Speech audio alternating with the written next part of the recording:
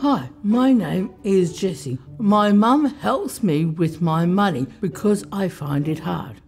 A while ago, I really wanted a new phone. Mum didn't know which one I wanted and she bought one for me anyway. I didn't like it.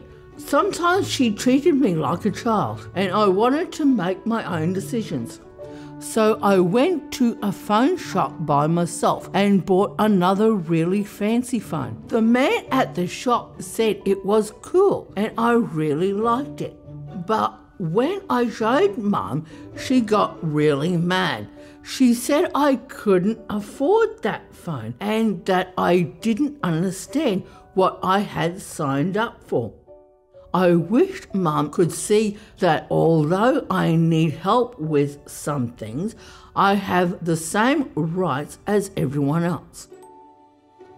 My support worker Dave helped me tell Mum that I have the right to be included, to make decisions that I can, and to learn new skills. Mum really listened.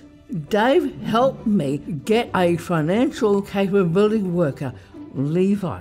Levi has shown me how to use a calculator to read my bank statements and bills and to set money goals. Levi teaches me money skills like budgeting. So we went back to the shop and we were able to cancel the other phone. I got a new phone that I liked and could afford. Mum is still my supporter, but she has really changed.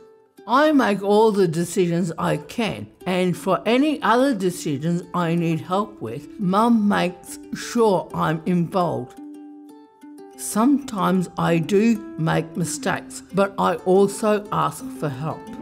Now I have joined a support group so I can also learn skills from others to avoid scams I have the right to ask for help, learn money and budget skills, make mistakes, say what I want, be treated like everyone else.